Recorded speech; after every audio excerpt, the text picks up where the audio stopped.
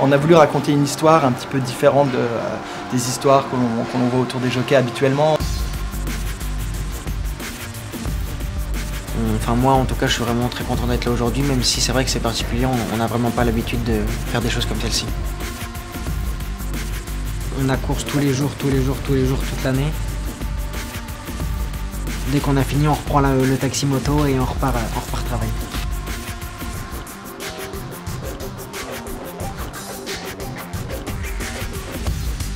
Pour nous, photographier un jockey aujourd'hui, c'est aussi important que photographier un footballeur ou un, athlète d'un sport plus, populaire. On considère que les athlètes partagent tous les, mêmes valeurs et puis on trouve qu'il y a quelque chose d'extrêmement élégant, racé, euh, moderne dans cette pratique.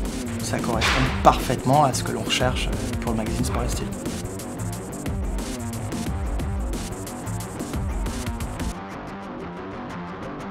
La course de, l'Arc de Triomphe, c'est la plus grosse euh, qui existe euh, en France euh, et, même je crois que c'est la, plus réputée dans le monde des courses. On prépare les meilleurs chevaux toute l'année uniquement pour cette grosse grosse course.